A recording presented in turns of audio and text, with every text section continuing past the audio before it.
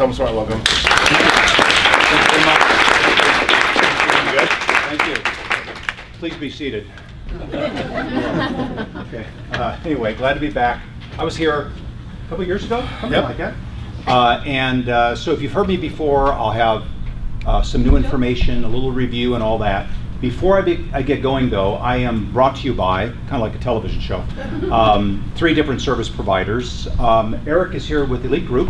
I want to say a few words. And uh, he, he- he hasn't said anything yet. He hasn't said, don't clap yet. He hasn't said anything. Uh, so anyway, I'm kidding. Uh, but anyway, Elite is the largest home inspection company in North America. And they have how many inspectors? 55. 55 full time. So they're they do and they do a lot of things that nobody else does. So, So uh, you guys have um, got a flyer. If you don't, I'll stay stick around after the meeting and hand you a flyer and a business card. Um, our pricing, just to get that out of the way, zero to 2,000 square feet starts at 397 for a single family home. Um, after that, every 500 square feet, it goes up $50. Um, so we do have competitive pricing, and I'll tell you why. So with every single inspection that you do with the Elite Group, you get uh, free warranties. Now we are not a home warranty company, but we are a home inspection company that cares about our clients. Um, on the back of the flyer, there's uh, details about those different warranties. I won't go too much into it to take, um, that'll take a lot of the time, but just to mention a few, we have sewer guard, mold safe, um, a roof protection plan, a termite protection plan. So those are all limited warranties. Um, a lot of them are 90 days, 60 days. Um, if you have any questions, I'd love uh, to answer them via email. You can give me a call um, after this. But um, one of the reasons why people love our company are post-inspection warranties that come into play after the day of the inspection. Another thing is we have a fully staffed call center open Monday through Friday, um, 8 a.m. to 9 p.m. and then Saturday 9 to 5. We do inspections every single day of the week, so you can get on the schedule um, on the weekend, Saturday and Sunday. Um, another thing is um, we are fully protected. We have E&O insurance, and our inspectors are certified master inspectors. What does that mean? So you guys know that in the state of, of California, the home inspection industry is unregulated, right? So no one can have um, a license to do home inspection. It's simply a, a choice. Each and every one of us can go out and you know perform a, a home inspection. So probably we probably wouldn't want to, you know, especially in this heat. Um, but we, we could. Um, now what sets up um, sets apart inspectors from the industry is they can get certified to be home inspectors. So we make all of our inspectors go through CMI, which is um, a certification they go through a thousand hours of training to attain the certification and 100 hours of training yearly to maintain the certification. Um, now it's um, considered one of the best certifications that you can attain. So um, you are safe knowing that your inspector through the elite group is a certified master inspector through proper training. Also, we have um, insurance that covers us, you know, our, our clients if there's um, ever any errors um, that on our part, you know, we you are fully covered when you use the elite group. So those are just a few things that set, set us apart from uh, the industry average home inspection company. I'd love to answer any um, more of your questions. Um, I have business cards for you guys, um, and I can you know answer questions um, after the meeting. So thank you. Great, Thanks, Bob. Thank you. Good job. Thank you. Good job. Dawn. Now, Dawn has, you probably know or might know, has an identical twin that does the same thing in the San Gabriel Valley. And when and her name is Sandy, and whenever I introduce Sandy, I usually say, "Here's Dawn." So this is the real, sister. this is the, the real Dawn. Yes, I'm the original. Yeah. The older one, Dawn Zerbel, First American Home Warranty. We are a home warranty company, and our favorite thing in the whole world is home inspections, just so you know. Nothing makes me happier than a property that has a home inspection not done by their father-in-law. Don't even get me started on that. Just had one, and I'm like, for real? I'm thinking, for real? You had your father-in-law do it? Yay! They So- do it more than anybody. I have one. Leaving it alone. So I can build a house from the ground up at this point. You guys, home warranties is your first line of defense at risk management. The last thing you want to get sued over is a dishwasher, a garbage disposal, or an air conditioner. That's my job to take care of those things, not your job. I always tell my realtors if you decide to close without a home warranty, because we are not required by law, NHD is, lucky them, just leave your checkbook, and if you're too young to know what a checkbook is, I'll show you later. Um, you just leave it, I'll show you. You just leave it open and you sign your name, and we'll show you how to do that too. And you just, every time the buyer has a problem, you're gonna take care of it. Because if you don't have a home warranty, they're turning to you for every little thing. And I don't care if you sold the house to your mom. They expect everything to be a brand new house, even though the house was built in 1962. So, home warranties do not have age exclusions. Everything just has to be working the day they close escrow and break right after. I have one right now where they closed yesterday and the air broke this morning. That happens. They have a home inspection showing it was working. They're golden. If you need something, email me, text me, call me. I have known Bob for 50 years. at least. Um, yeah. We, we, were, we were both much younger when we Yeah. started, but no, I've known Bob for a long time. He does a great presentation, you guys, and I appreciate your support and look forward to, with Bob, helping you guys stay out of court. Thank you. Uh, And, and by the way, um, Carolyn with First American NHD, she, she's on her way, right? Yes, Okay, yes. so if she comes in, we'll have her say.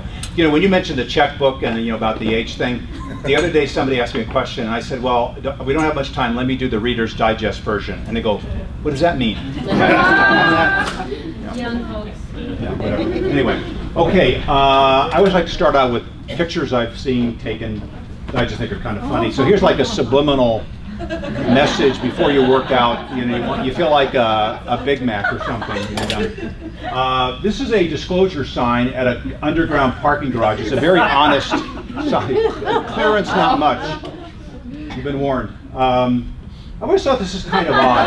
Is, uh, and this is a real gym. I live in San Diego. This is in Point, Point Loma. I showed this picture for years and I thought it was Photoshop. People are going to go work out on the Stairmaster and they're taking an escalator. but it's it's real and it look it there's nothing's been photoshopped. It's in it, it's off of Rosecrans in Point Loma if you're ever there.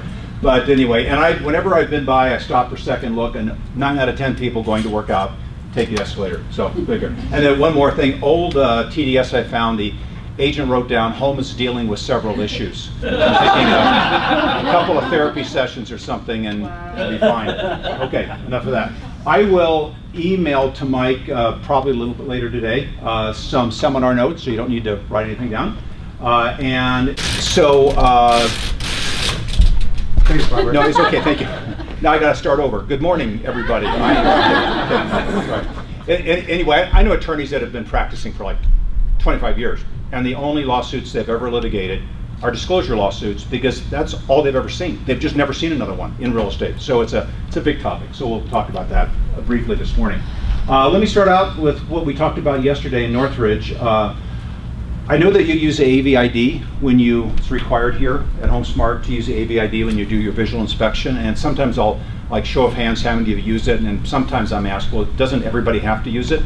Well, if a company requires it, yes, but the BR, it's not, the- it's not a BRE form, it's not a state of California form, totally optional, they don't care about it at all. However, it is so prolifically used in the state of California.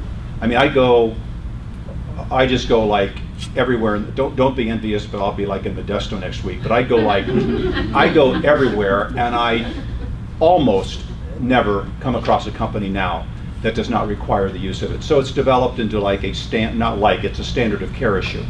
So it's really good to use it for lots of reasons. There's more room to write for one, but there's a lot of liability protections and so forth. Uh, however, the statutory form is the TDS, or the tedious form, if you want to call it that. Only mentions one thing, and I can't use my little laser thing, it doesn't work on the TV, but you see it circled there. Uh, visual inspection, so that's our marching orders on how to fill out the AVID. So a question for us this morning, does that mean that the only things that you should write down on the AVID are things that you actually see, that you can visually look at? No. And- Correct. The answer is no. and uh, the reason why is because that term on the TDS, which has been on it since it came out in about 1985 and unchanged, uh, really means, or is morphed or whatever in court to mean any sensory perception. So it doesn't make any difference if you can see what concerns you, a crack, a stain, or something. But uh, what, the, what really makes a difference is whether the buyers will notice it when they move in, and in particular, if the buyers will be surprised to notice it when they move in. The only buyers that ever sue are buyers that are surprised, caught off guard.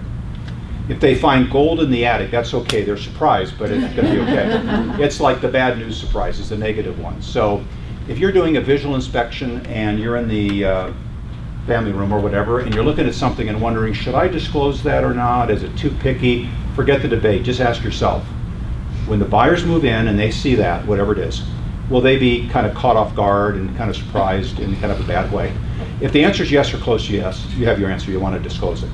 So uh, let me give you two examples. Uh, We're, we're keeping this brief today. We'll be done by four o'clock, so we're gonna. No, I'm kidding. Just like another 45 minutes or so.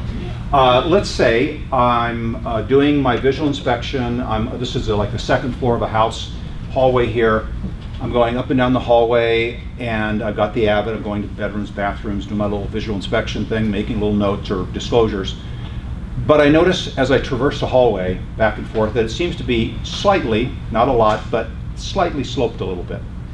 And so I'm wondering, you know, I'm just there by myself thinking about it, I'm wondering, well, this could be a problem and it could be an expensive one to fix or indication of a problem. Uh, it could be a structural issue, uh, soils problem, construction defect issue. All of those would be expensive to repair, incredibly expensive to litigate over and repair.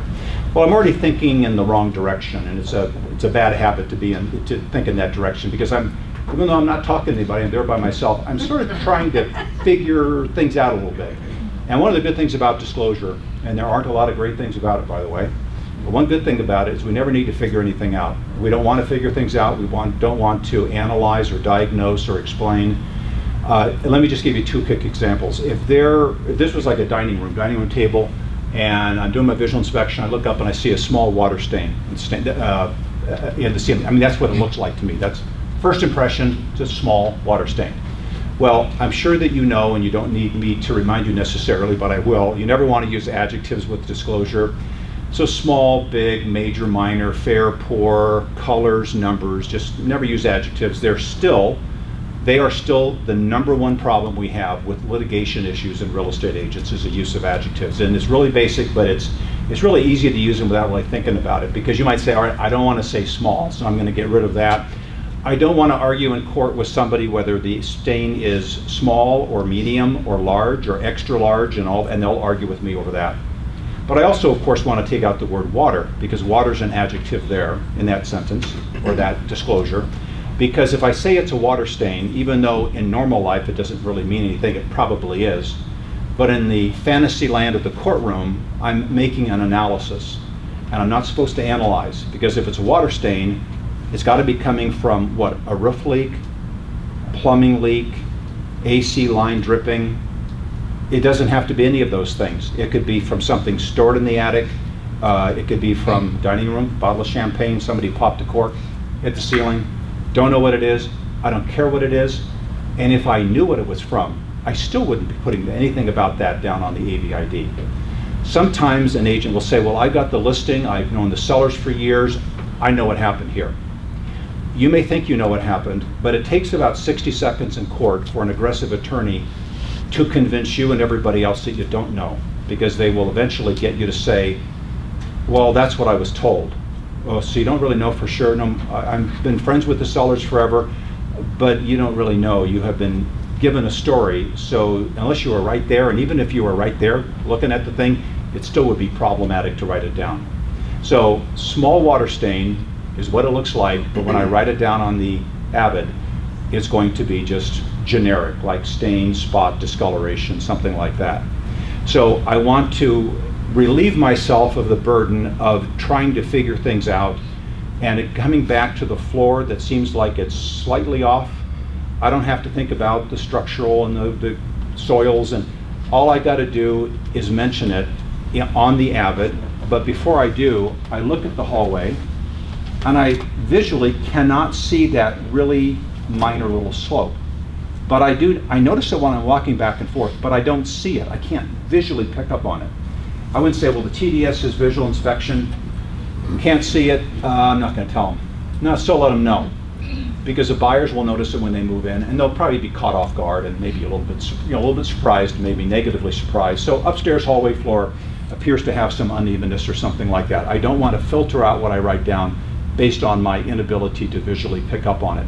Same thing with the very strong odor in the home. Let's say I have the buyers, every time I go to the property, it hits me like a wall. There's a very strong, pervasive smell in the home, and I'm wondering, you know, like most of us would, like, what is this coming from? It's not a good question to ask, even, even just in your head, let alone out loud, because it doesn't make any difference what it's coming from. I'm not going to write that down anyway. And if I think I know what the source is, that's problematic because I don't know. They'll prove it in court, and again, 60 seconds that I don't know.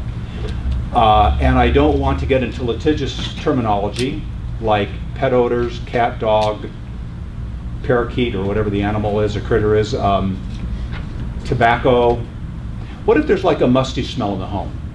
I never, I know we never have humid weather here, but if we did, or or did they just have a lot of plants or watering? It's just like you can tell it's just musty in the, in the room. Well, I don't want to write that down because musty is related to mildew and that's related to mold. So I'm making a professional analysis uh, explanation there when I write down musty. And I will not win the battle in court. I will be doing battle with an expert witness, um, moldologist, I'm not sure what they're called, but whatever they're called. this guy will say, I've written books on mold, I'm the, ex- I'm the world's expert. I, I cannot pick up a, a smell or an odor in a home and determine if it's in the mold family. Now, really can, but that's what they'll say. I can't wait to find out how the real estate agent has this incredible ability that I've never even heard of. And you're in a position to have to get up on the stand and explain this, and you just don't want to go through that. You won't win the battle. So, I do want to disclose it because it's a sensory perception, it's sense of smell. But the question comes up, what do you actually write down?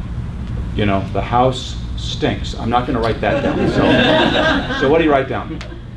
Something I have in the notes, you may like this, you may come up with something better, which is fine. I like the word obvious or apparent. Obvious odor noted at property or in garage or you know wherever you notice it.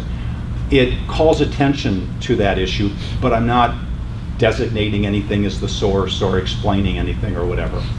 And, and back to that musty mildew thing, uh, if you see like spots on a kitchen wall or something, and it's clearly, I mean, if it was in your own, own home, you'd say that's mildew, I'll get some kind of a cleanser and a sponge and I'll wipe it down. Well, you can't, you know, that, that's regular life, but in real estate, you know, you could just refer to them again generically as spots or stains or discoloration marks or whatever.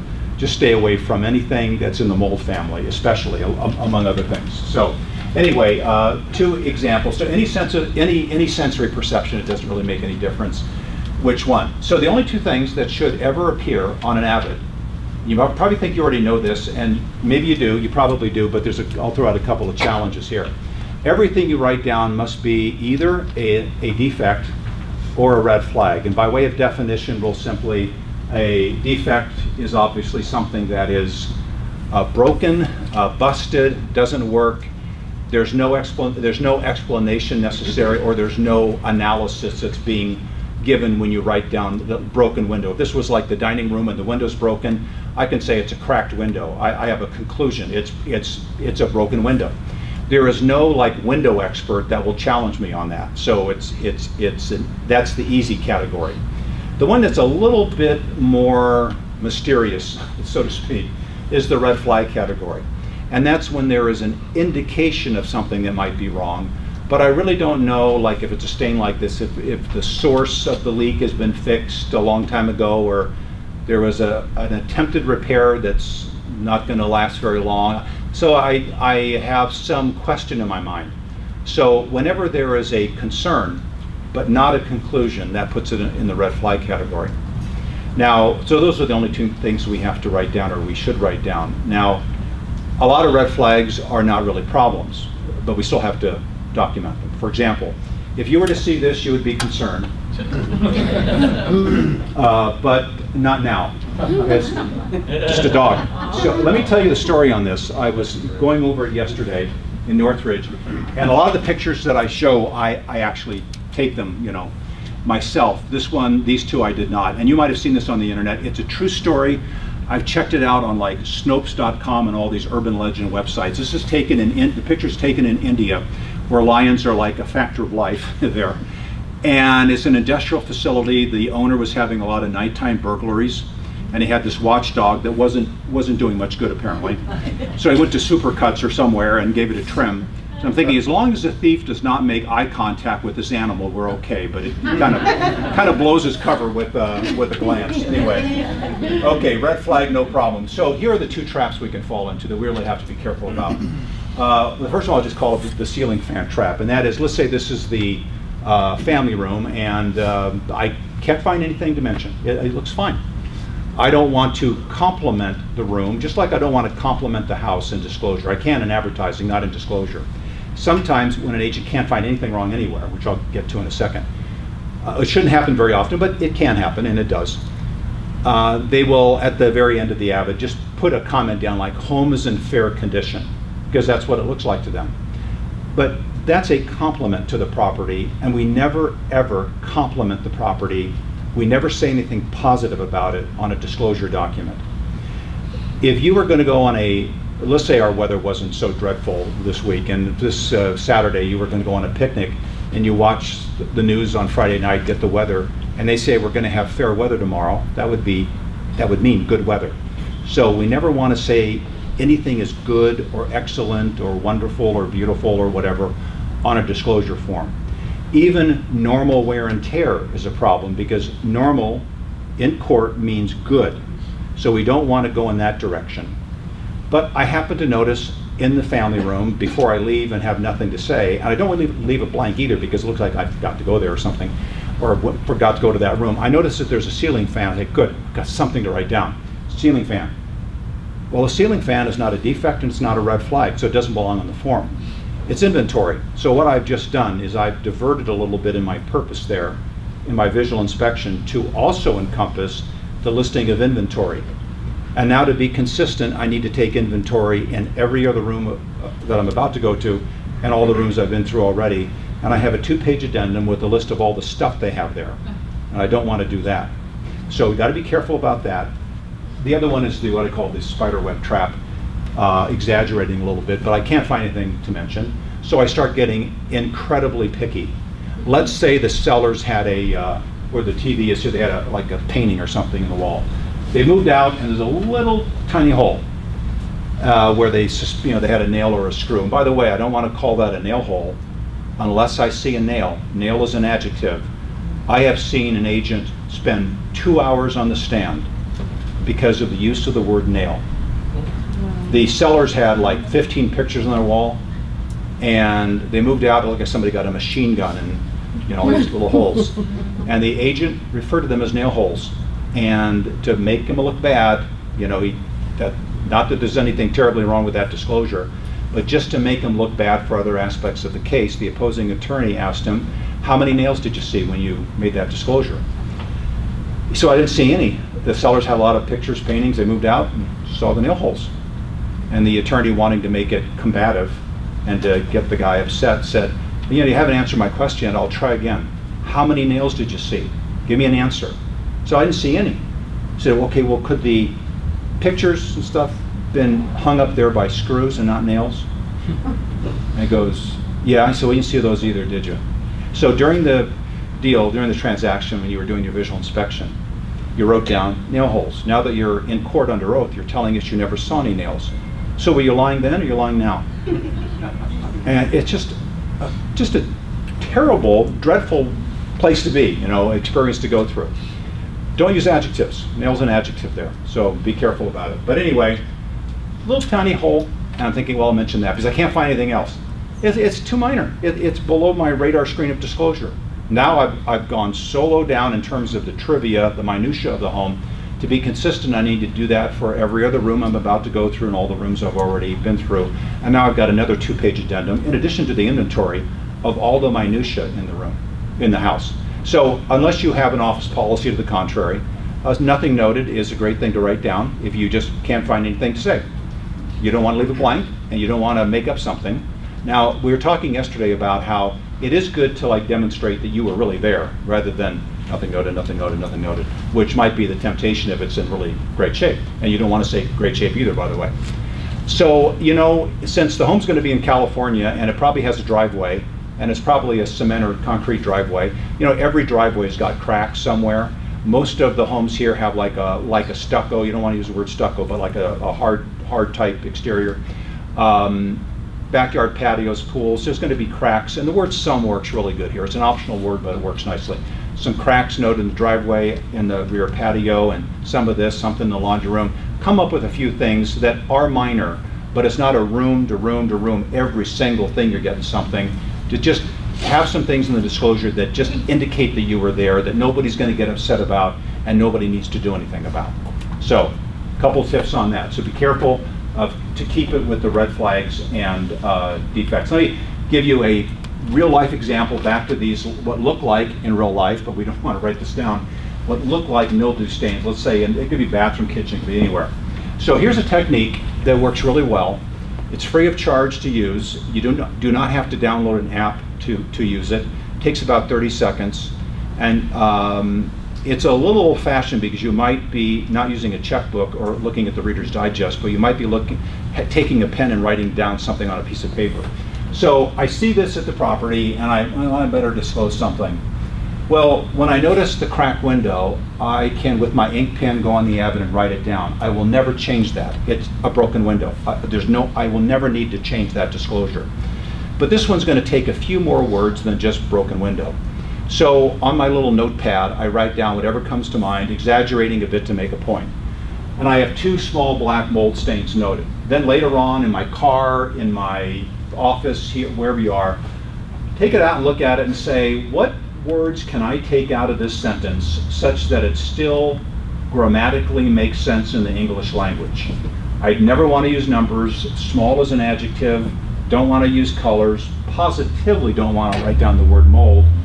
And the only thing I have left over is stains noted, and I write that down with my pen on the Avid. It took me a half a minute, and I've taken what might have been a problematic, liability-prone disclosure statement and turned it into something that's about as liability-free as I can get. So that's a good technique. By the way, as I race through this stuff, if you have any questions, feel free to, to raise your hand. We had a couple questions last time. So let me do a real practical, real-life example. A couple months ago, I was at a Vons supermarket, middle of the day, I was in a hurry like I usually am, and um, I wanted to use the express line, so I looked at the cart, I had 14 items. So I qualify, I guess. So I put them up on the counter. I noticed the guy behind me was like counting. He was like, so I'm thinking, well, I looked at 14. Like, what if I had had 16, 17, 18? Uh, nothing would have happened, I don't think. But you know, I mean, that that's supermarket life. That's not real real estate things. Things happen. Well, about a week later, I was at a Ralph's and I noticed that they wrote it down differently, very cleverly, about 15 items. Same scenario with my 14 things. If that guy was behind me here, he wouldn't be counting. Because, he look, it's about 15 items. It might be 16, 17, 18, but that's still about 15.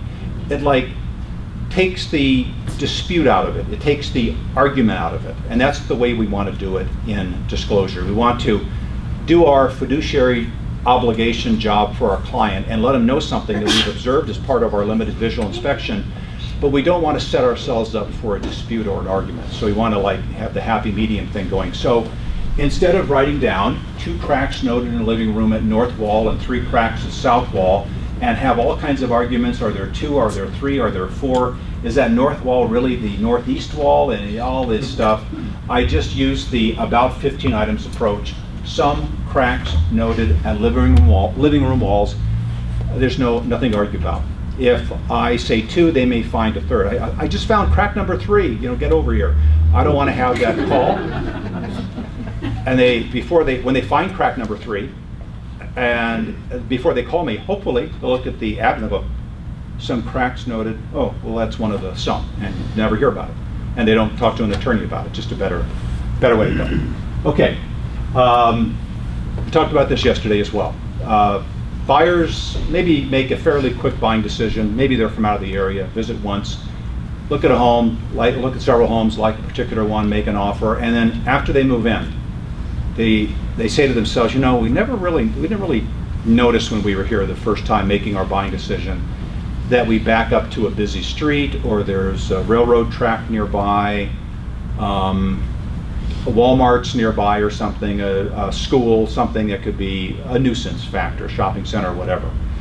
So we have to let them know if there's something unusual in ter terms of mainly like a noise or nuisance factor. You know, for agents that do business in the city of San Francisco, I mean right in the city, there's no disclosure at all about urban noise, like cable cars and uh, bells ringing and uh, sirens and traffic, because if you're buying a home in San Francisco, like if you were buying one in New York City, that's just a given. You're going to have a problem. You're going to have issues like that, maybe not problems. But when you get into the more residential type settings, if there's anything that might catch them off guard, we didn't really realize this, and it's a good idea to have a disclosure. Now, if, the, if you got the house here and it's the closest residence to a Walmart, so if you're in the front yard, you can see the Walmart right there, and the buyers have been to the property a couple of times in their buying decision process, think, well, it would be an insult to their intelligence to mention that the Walmart's there, they've seen it a few times.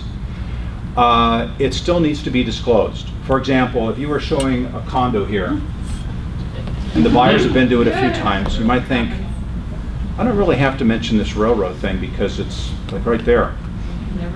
We still have to mention it. We have to be careful how we mention it, which we'll get to in a minute. But you might think, well, what do buyers say when they're challenged on this in court and there's something so obvious and somebody asks them, well, how did, how did you miss this? Well, uh, the problem is uh, they have an attorney and some of the attorneys are uh, clever in kind of a bad way, deceptive way. And before that, they go to court, the attorney will meet with the buyer and say, by the way, they're going to ask you right out loud, the judge will ask you, somebody will ask you, how did you miss this thing? I mean, you're right there. So let's make sure we're on the same page here. An example, this happened up in Roseville near uh, Sacramento. Older guy buyer from out of state, one visit to the property, made a buying decision off of that one visit. Uh, I kind of think he was doing this at least partially for the money, so that, that was a factor. He had told his agent that he would like to live near a park, and on move-in day, second time he had seen the property, he pulls up, he says, there's a cemetery behind my house. Well, it's a memorial park, I guess. It's a different kind of park than he was looking for. But anyway, it's like 10 acres big. I mean, it's right there. It's all flat. You can see it. Backyard, little chain link fence, and he was in the backyard. There were witnesses said he was in the backyard. So he sued because he was not told about that. So, you know, court, uh, you know, lawsuit, court time, and uh, bench trial, meaning no jury, just the judge is making the decision. So he was asked, the judge asked him, we know you were in the backyard. We have several witnesses that we could bring forward to, to testify to that fact. How did you miss the, uh, how did you not see that, that uh, cemetery? His answer, all rehearsed, was, Your Honor, I left my glasses at home. I have a prescription pair. I didn't want to go buy a new prescription pair. I, I can only see like 10 feet in front of me. Didn't see it. Now, we're thinking you've got to be kidding, but the jury's like, when there is a jury, they're like, oh yeah, that's just too bad. It's like, really? Uh, and uh, so um, he won. He got 70 some thousand dollars for this in order not to try to rescind the contract and all that. So, no matter how obvious something is, you got to disclose it. So if there are train tracks near the home, let's say not this close necessarily, but you know, backyard, you can sort of see it. Think, well, maybe I'll disclose. I'm just thinking, how would I disclose this? I might say buyers are advised that there may be a noise issue with the nearby train. That sounds pretty good. It's probably the most common disclosure for a close by railroad. The problem is, is that I'm only mentioning one thing that might bother them about living that close to an active railroad, meaning there's now lots of things they can sue me over. They can sue me over the shaking of the house, the quivering of the walls, which they say, they will say they never had any idea what happened, and, and it happens four times a day, and we always think there's going to be an earthquake, and you know they've got a therapist in, in, in the in, the front row and maybe violins playing in the background or something. And uh, let's see, they could sue over child safety concerns, fear of derailment, diesel fumes, toxic materials being transported, the train whistle or what they call it, all kinds of things. So I can't start a list. And when I mention the noise, I've started a list. And you can never make a disclosure list long enough. So the better disclosure is to tell them what's there not what might bother them about what's there. Buyers are advised that there is a train next to the house, close to the house, near the house. Don't get caught up in the close, near, how far. It's all kind of treated the same. And then anything and everything that could possibly bother them about living that close to a active rail line is covered in that disclosure. It's kind of like um, where I live, there's a problem in parts of the area where they're near like some trails, uh, you know, uh, uh, hillside trails where we have a coyote problem, especially at night. If you have a pet, it's considered a temporary pet. If it's a small, like cat or dog, and if it's outside at night without a leash or not fenced in, it will last about two days. They've got about 48 hours to live, and they are gone. They just disappear. So, uh, a neighbor of mine, who should have talked to me first but didn't, uh, had his home on the market, and buyer actually met the buyer at you know when the buyers were looking at it, and found out that the buyers have a had a small dog, you know, a little dog, and so as a favor, as a nice guy thing, the seller wrote uh, I think an email to his agent that went on to the buyer's agent. Please let the buyers know since they have a small dog that we have a problem with coyotes and you know, keep the dog in at night and all that. So it sounds like a nice thing to do. But notice that the sellers, without really thinking about it, were creating a list of things in the animal kingdom, let's say, that might be a problem. And they only mentioned one critter, and that was coyotes. So first day in the property, Mr. Buyer has his little dog on a leash during the day, walking down one of the trails, and a rattlesnake comes out of a bush and bites the dog. Uh, $1,800 vet bill to keep the dog alive. The sellers sued, excuse me, the buyers sued the sellers. You told us about, you know, we're from out of state. We've never even seen a coyote, and certainly have never seen a rattlesnake. Told us about the coyotes, so we're, I was looking for them. I was looking around, you know, for coyotes. The snake came out and bit my dog, you know, a poisonous snake, and you didn't tell me about the snakes. Snake, okay, do it over again. Mention the coyotes and the rattlesnakes. Are we done? No. We're never done. Never done. Scorpions, I don't know, black widow spiders, uh, poison oak, poison ivy. You can get into just go on and on. Uh, uh, in Pasadena, couple of weeks ago, I was uh, there's some agents that live in the I think it's Sierra Madre district of Pasadena, and they have a, a bear problem. They certainly do up in like Lake Arrowhead and Big Bear. And so, so you think, well, and by the way, so you can, can't make a list. Just don't make a list to just get off of the wildlife thing, which I usually actually don't talk about, I do have something in the notes about it.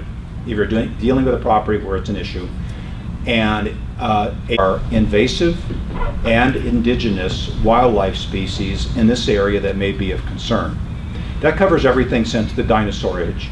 If it is alive, it's either invasive, it somehow got here some way, or it's indigenous, it's always been here. And they've been warned, and they can check it out if they want to. But you don't want to start a list. So one more example on the, the yes, go ahead. Just real quick, regarding the train or the freeway, that's a mention on the SPQ, the Stolen Property Right, Questionnaire, right. and there's a space for an explanation regarding that if you mark yes. Right. Is that something that you would want to still include on the AVID, even though it's already part of the SPQ? Yeah, Okay, it's already on the other form. So good question. Uh, I have no idea. Anyway, okay.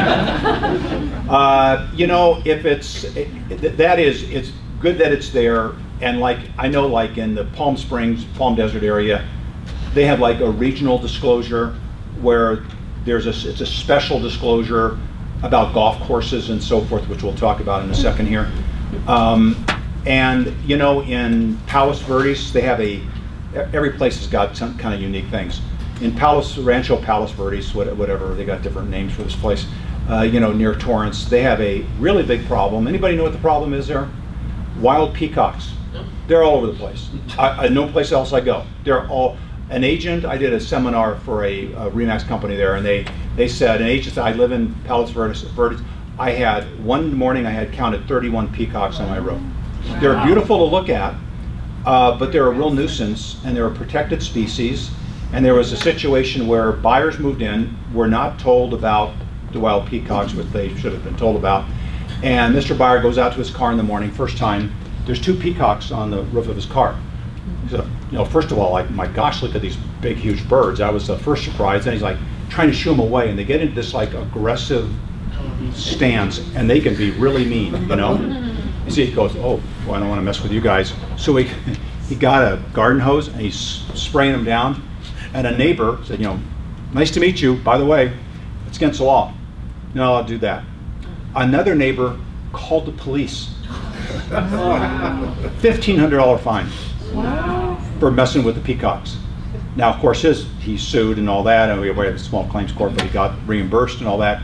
So If it's something that's unique to an area and there's a separate disclosure, that's always good. And with the form you're talking about, it's on there and it's good. But if it's, it doesn't hurt. It's kind of like, should I disclose it? As Mike was saying, yeah, go, go ahead. You know, if it's, if there, if like this building over here was a school, I would, and the, the house is here, no matter what form it addresses it, I would mention that there's a school nearby. Now, I'm not going to say that there's gridlock in the morning and the afternoon when the kids are being dropped off and picked up and you can't get out of your driveway. And I'm not going to mention the noise from the, uh, high school and the, the bands that play there on, uh, at the dance on Saturday night. I'm not going to mention the noise from the soccer games. There's, I can't make a list. There are too many things. If there was a church there, I don't want to mention gridlock maybe on Sunday, and every hour they ring chimes, and at 12 noon they have Battle Hymn of the Republic for 45 minutes or something. There's too many things. All I got to do is say, there's a church near the home, or a school. So, I'd still mention something. Uh, So A golf course. What's that? How would you disclose? Well, the it, about the, the question is how would you disclose the peacocks? Well, in that area, they have a special form that almost everybody in the business uses, which is a little blurb about, about, about the wild peacocks. And, and that takes care of it, because it's really unique. So when I do something like a, an association of realtors, I will often, often bring this picture and I'll ask everybody, so like what, um, what would be a common disclosure for any seller here? Almost everybody says errant golf balls. That's a, you know, very, it could be a lot of things, but that's what comes up usually.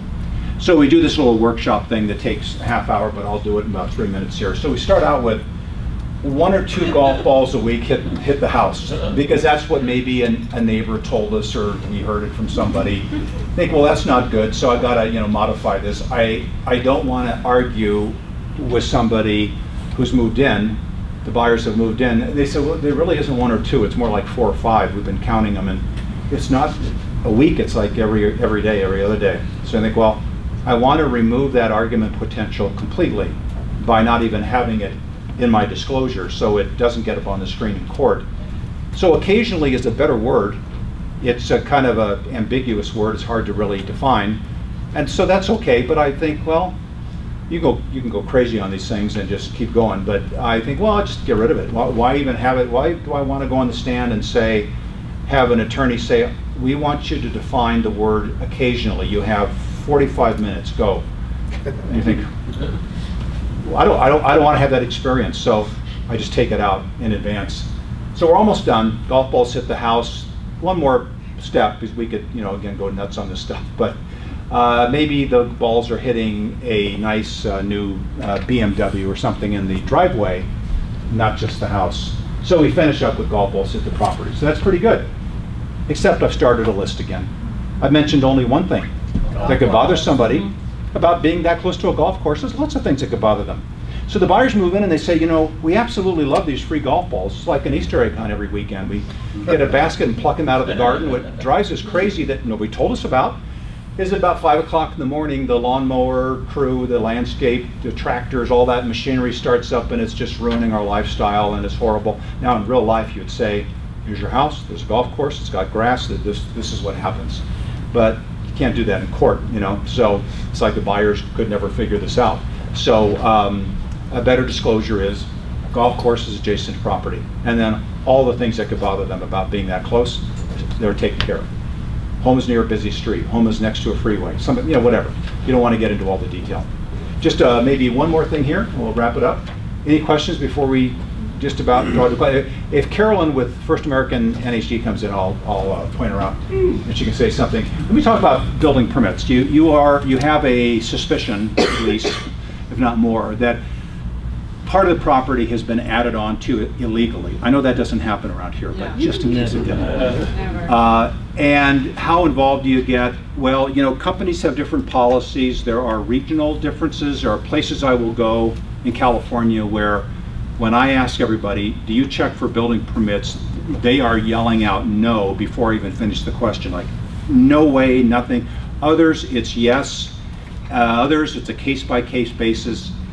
The, the point I want to make is that it's, you're on really dangerous ground when you get in any way involved with that process. Now, there are maybe times that you do, and you can construct disclosures that, that will be good and protect you. You just have to be careful about it because it's a, it can be a really high cost kind of, a, of, a, of an issue. Uh, in the notes, I have um, this, and I'll, I'll read it, but don't, uh, you don't have to write it down. Buyers are advised to check with the local municipality regarding building permit information.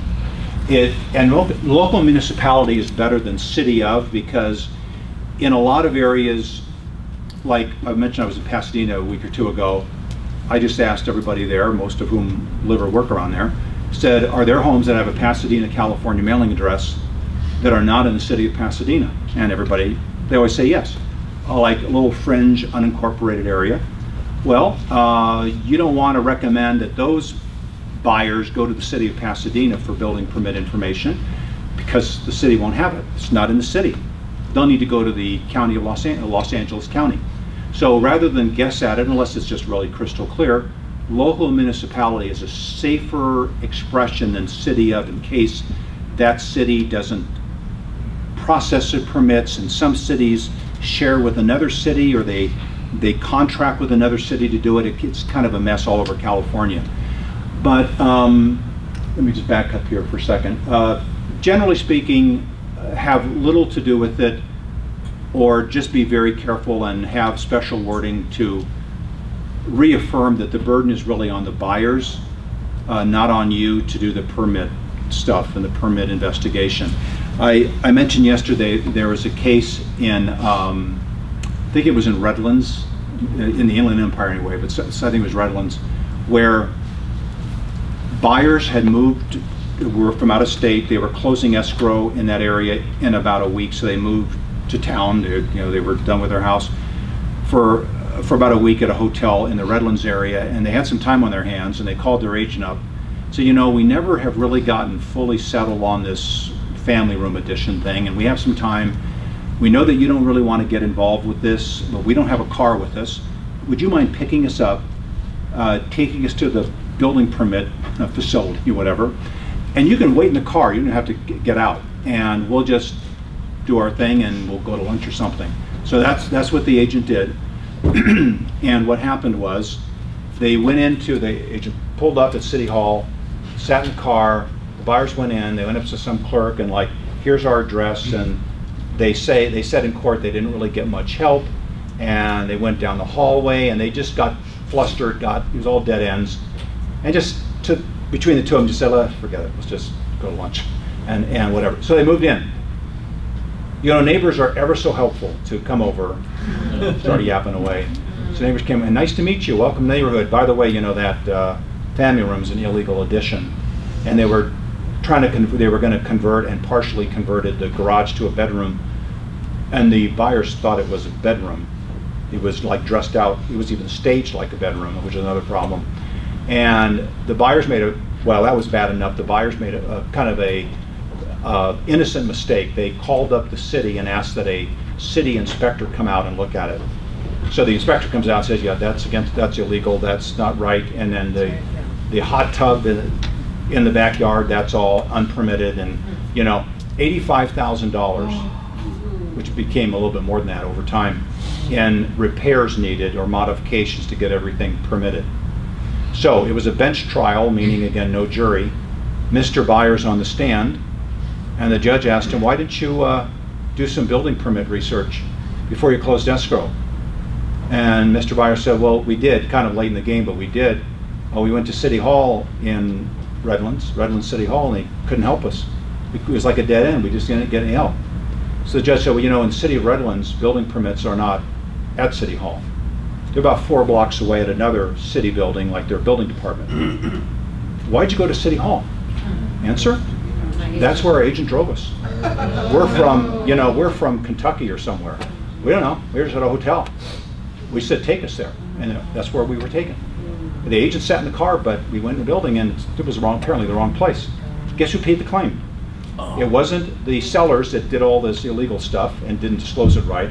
It wasn't the buyers who kind of fumbled on it. It was the buyer's agent who literally picked them up at the Holiday Inn, drove two miles to City Hall and just sat there in the car. So it does not, my, my main point here is, it doesn't take much for uh, you to be in the liability loop. So you just have to be careful about it. I'll just mention one other thing. Uh, Can I just do one more item? It'll just take a second. Yeah, and then I got a Okay. couple. Okay, yeah. Uh, Let me talk about something nobody's asked me about in 29 years until recently, and that's marijuana. And the question is, uh, I'm doing my visual inspection, I cut through the backyard, and uh, there's, uh, there's a marijuana plant there. Do I need to disclose it? Now, there is some variance with companies on this, and I, many of you probably know who Gov Hutchison is, and he and I did an event together in Sacramento at the end of last year, and he was going over an exception to the rule. This is where they have three acres. It's a marijuana farm. It's a production facility. Well, that, that's obviously a disclosure issue. I'm talking about just the random plant. Generally, the, the answer would be no, there'd be no disclosure because plants out in the garden or whatever are not part of our standard of care. And so you think, well, uh, if I'm going to extend it to the backyard, uh, let's see, there's oleander bushes or whatever that are poisonous, I better mention those. And uh, rose bushes have thorns, and there's maybe poison oak, poison ivy. Some agents, again, expand from, from the garden to the animal kingdom, and we're getting in, as I mentioned, to the coyotes and the rattlesnakes and the, the- all the other things. And our, our, our standard of care just keeps expanding. Well, we want to keep it just a limited visual inspection uh, of the home. And if we get into the garden and all that, and the plants and marijuana, we're getting into identifying plants. So usually, there's no disclosure for that kind of thing, that kind of, uh, of uh, situation. So anyway, my time is up, and I'll turn it back over to Mike. If you ever have any questions on disclosure, when you get the notes, I do a lot of driving, and uh, this, there's no charge for this. You can call me up anytime as I'm buzzing along, and uh, if you have a question about disclosure, I'll try to answer it. Okay, thank you.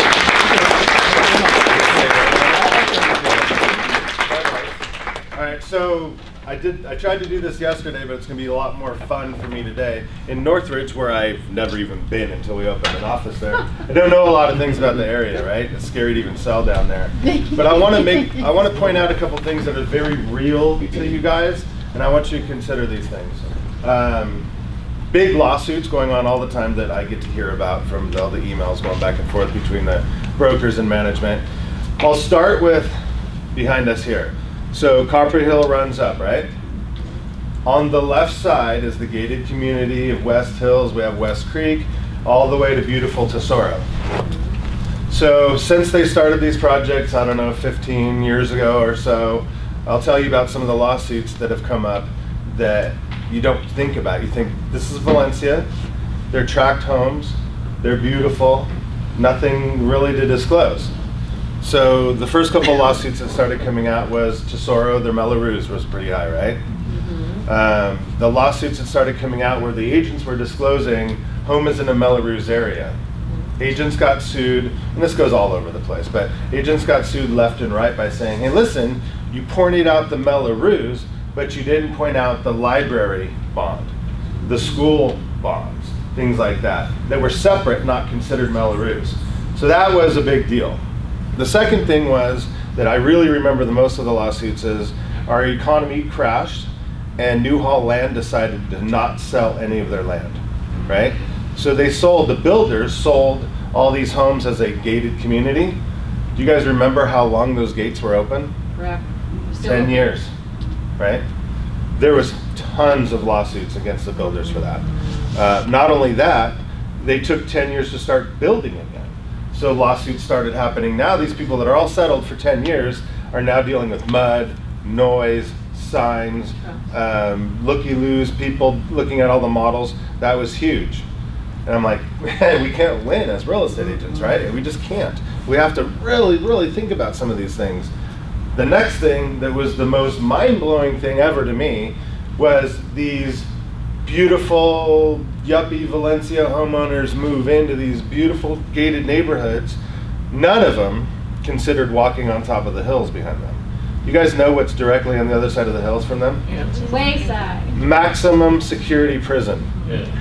Thousands of people are now in the line. You know, when they escape, they typically go south. We've proven that, right? so they escape, they go over the hill, right through those neighborhoods. Imagine the lawsuits that came, uh, that are still going because of that. So I'm like, my gosh, I mean, we, we have no chance as real estate agents. So we really got to think about these things. So our Santa Clarita disclosure, which we love, there's those things have come about from all of us brokers getting together and saying, hey, let's all throw our lawsuits in a hat and let's talk about some of these things. It goes back as far as uh, my favorite one that I just heard about a couple months ago is an agent at um, I think it was Realty Executive sold a home to somebody in Tesoro. Even in the in the houses that are up by the HOA, the little detached Canterbury's. So what happened was is the they moved in, they lived there a couple of years. Somehow, some way, they got a hold of knowledge that in 1920 or whatever, that St. Francis Dam broke Right. and destroyed all life through the entire San Francisquito Canyon, all the way down through the 126. I'm sure they were going after money too, but they said the agent never disclosed we're in a flood zone. Now, how long has that dam been broken? Yeah. 100 years. And they're still trying to sue. So I'm like, you got to be kidding me. So I'll give you one more example, and this is probably the best one I can come up with to open up your minds to disclosures. So I moved into Placerita Canyon in the year 2000. I've always wanted to live in Placerita Canyon since seventh grade. I didn't care about anything. The one thing that I noticed that was a trip was on the NHD that Carolyn gave me was I was in a liquefaction zone. You guys know what that is? Yes. When there's an earthquake, the house sinks, and that's just the way it is. So I'm like, well, that's pretty trippy, and I almost considered not buying there because of that. So as I lived there over the years, if I ever wanted to sue the homeowners, let me give you a list of things that I've learned. Recently, we learned that there's three 30 foot wide gas pipes that run under the entire neighborhood.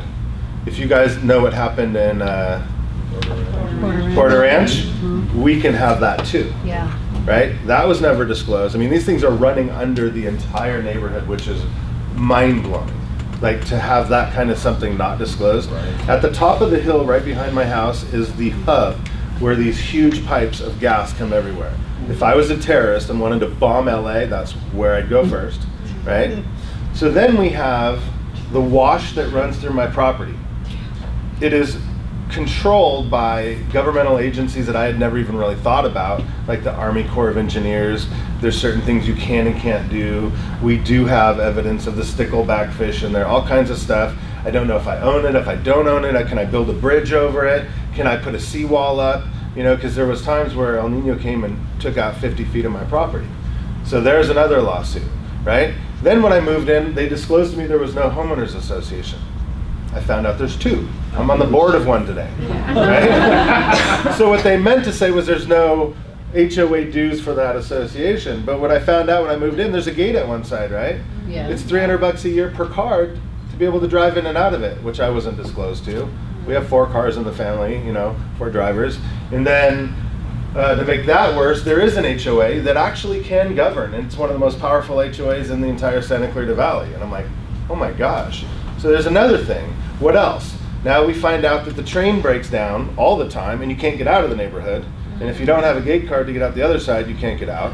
There's that. There's, uh, oh, the other neighbor, one of the neighbors that's actually going through a lawsuit right now, um, the, the agent didn't disclose that it's in a um, flood zone and a fire zone. So two things happened last year. They couldn't get their horses out during the flood, and they couldn't get their horses out during the fire. Then when we had our evacuation. Two more things. The NHD though, They're- located in if you read it, right? But the agents and the companies are supposed to know about these things. So a neighborhood that seems so innocent has all these things that never ends. I mean, there's there's churches, right? There's three churches in the neighborhood. When the churches get out all at the same time for whatever reason, you can't get out of my neighborhood. There's a line a mile long of cars. I mean, the list just goes on and on and on. So as an agent, I'm sitting there going, oh my gosh, I could be a Yeah. billionaire if I wanted to sue for all these things. So keep a very open mind with disclosure and do your due diligence, right? We don't want to write things down like Robert says not to, but it's absolutely crucial. And that's why when you guys are doing your AVIDs, when you're doing your TDSs, when you're doing general disclosure, do not forget the Santa Clarita disclosure, right?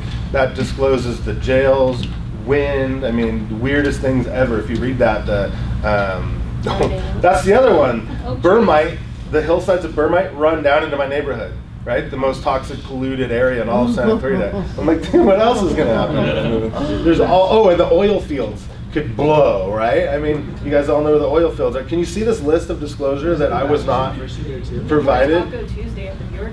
Yeah. So these are the types of things that I want you guys to consider. Um, disclosure. So will you please call me when you guys have issues and when you when you think should I? The answer is yes. And then there's a lot of things that we know as management from living out here so long, Cindy and I and Martha and everybody else around here. We know certain things that we might be able to help you with, to help you make the right decision to disclose it properly.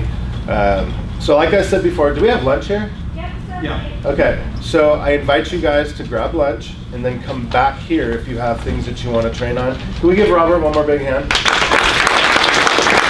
All right, well done, guys. Hands in the air for Julie. Give her, give her some bucks so she can have a